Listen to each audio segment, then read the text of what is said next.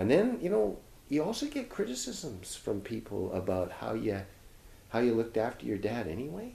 Like the next door neighbor had things to say about maybe that uh, my brother and I weren't up to snuff and how we looked after my dad and those sort of things. And you know, my immediate thing is uh, going postal.